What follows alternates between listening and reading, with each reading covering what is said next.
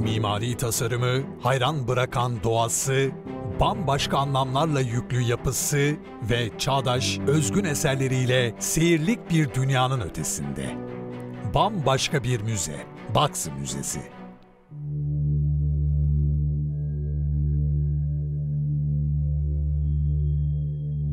Baksı Müzesi, küresel salgının izlerini taşıyan yeni sergisini Maske Çağrışımlar adıyla sanatseverlerin beğenisine sundu.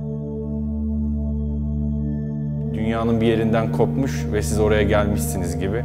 Sanki buraya ait olmayan bir yerin içine girmiş gibi oluyorsunuz. Yakın uzak uzak yakın haline geldi. Artık hepimiz satın alınamayan bir ortak bir kaderi paylaşıyoruz. Temastan uzak bir gerçekliği paylaşıyoruz ve bu bizim gözümüzün önünde kayboluyor.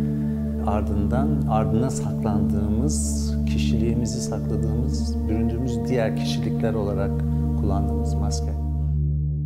Baksı'nın açık yapı anlayışına dayalı, sanatı hayatla özdeş tutan özgün ve çağdaş müze algısının parçalarına bu kez 20 sanatçı ve tasarımcının maske yorumları eklendi.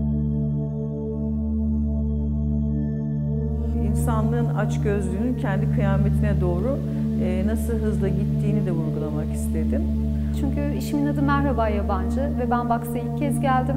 Ve Baksa aslında dünyaya çok yabancı, neredeyse uzaydan inmiş gibi duran çok özel bir yer benim için.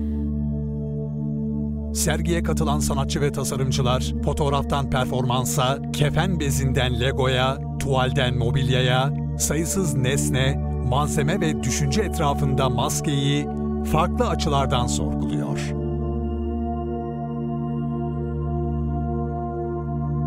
Maske Çağrışımlar sergisi, Baksı projesinin 20. yıl dönümü kutlamaları çerçevesinde 20 sanatçının yorumladığı özel eserlerle 15 Mayıs'a kadar ziyarete açık kalacak.